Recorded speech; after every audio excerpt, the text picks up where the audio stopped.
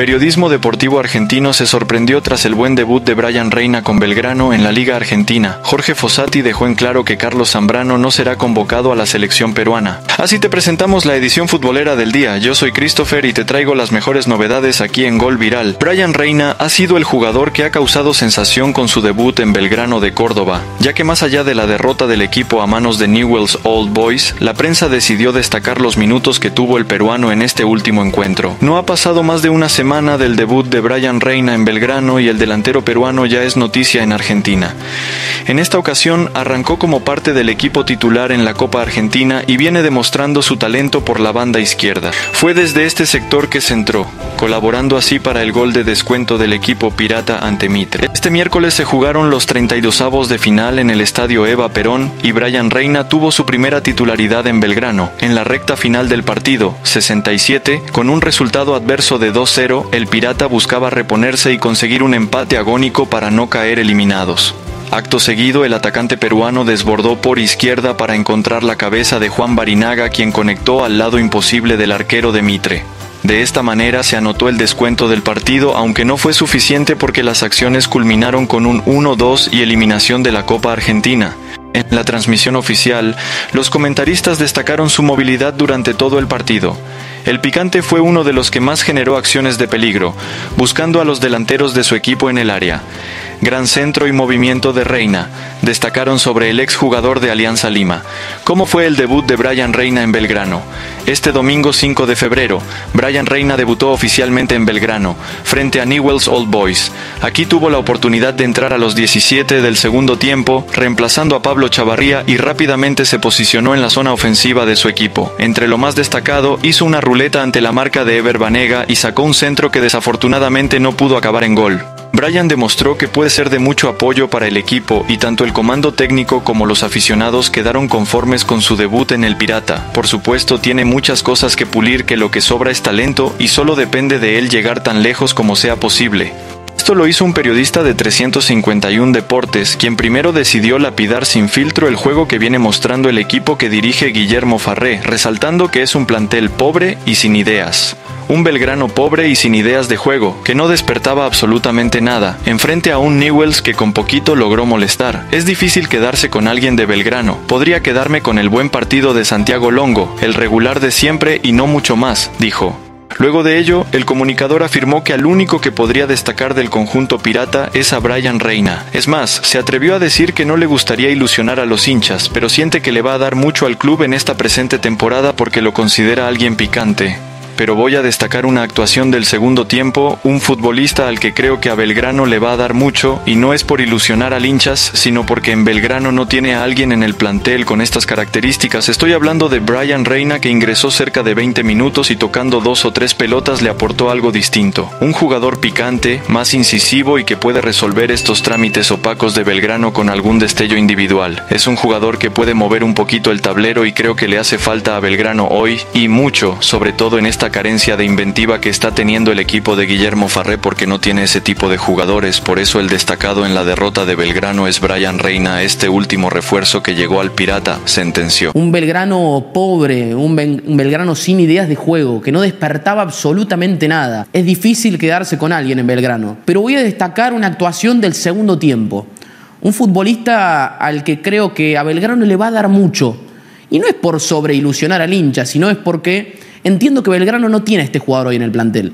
No tiene este jugador de estas características. Y estoy hablando de Brian Reina, que ingresó cerca de 20 minutos en el segundo tiempo y tocando dos o tres pelotas ya le aportó algo distinto a Belgrano. Un jugador picante, más incisivo, que puede resolver estos trámites opacos de Belgrano desde lo colectivo con algún destello individual. ¿no? Es ese jugador que puede mover un poquito el tablero y creo que le hace falta a Belgrano hoy y mucho, sobre todo en esta carencia de inventiva que está teniendo el equipo de Guillermo Farré, porque no tiene ese tipo de jugadores.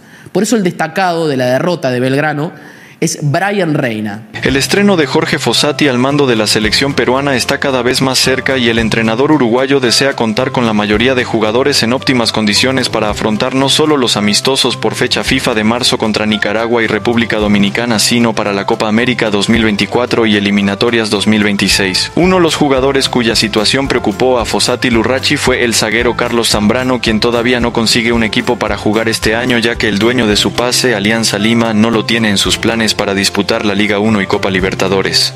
El entrenador de la Blanquirroja, consternado por la inactividad del León, decidió entablar comunicación con él en los primeros días del 2024. En dicho diálogo, Zambrano Ochandarte lo puso al tanto de sus problemas con la institución blanquiazul y el flaco le ofreció ayuda en lo que necesite. No obstante, no volvió a recibir otra comunicación por parte del defensa. Me comuniqué con él en los primeros días de enero. Me dijo que estaba en una situación de impas con su club de aquí de Lima, Alianza Lima, y yo le dije que si nos necesitaba estábamos a la orden. De allí en más no tuve más noticias de él, afirmó en el programa de YouTube Desmarcados. Rechazó la NUS y está a la espera de, poder estar en, el fútbol afuera. ¿Se comunicó con él para que tal vez venga aquí a entrenar a Videna y tenerlo cerca? Me comuniqué con él, eh, no me acuerdo ahora, pero creo que en los primeros días de enero eh, me dijo que estaba en una situación de impas con su, con su club de aquí, de Lima. Eh, y, bueno, yo le dije que,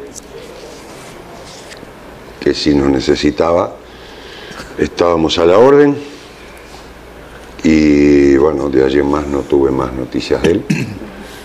Así que este, tampoco voy atrás de nadie para para entrenarlo, ¿no? Cada uno hace lo que le parece y es dueño de, decidir sobre, sobre su futuro.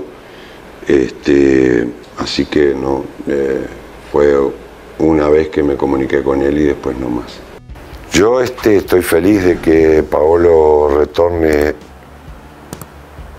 y que empiece a jugar en la liga peruana. Será su primer partido en la Liga Peruana, si no estoy equivocado. Sí, Profesional. Eh, hizo toda su carrera en el exterior, demostró toda su jerarquía. Eh, y el, no en el 1950.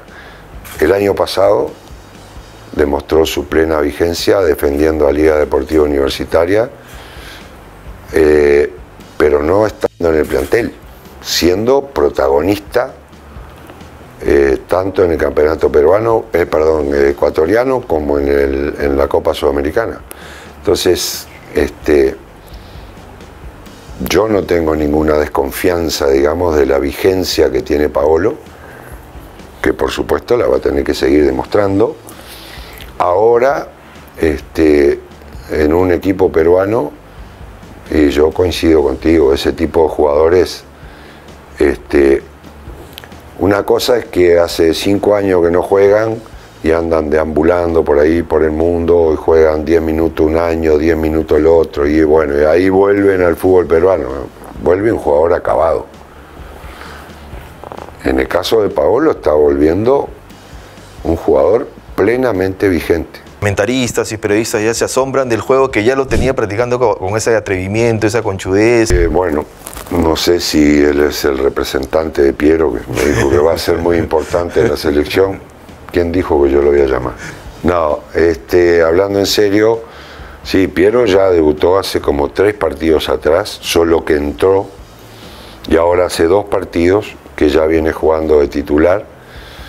Eh, de alguna manera, por, por las cualidades que tiene los jugadores o, las características de los jugadores de, y por el sistema que usan, eh, le ha modificado un poquito la posición que, conmigo o con nosotros tenía en, universitario. Me parece que le, le, costó un poquito al principio, este, por lo que vi, eh, pero ya ayer hizo un muy buen partido, este, jugando como titular y, mm, de visitante O sea, este, creo que poco a poco se va adaptando y este, de sus cualidades creo que si hay alguien que no es sospechoso de que dudó de sus cualidades soy yo, porque siempre le hemos dado el respaldo en universitario. Ahora la pelea en la discusión por una posición en la selección es diferente, ¿no?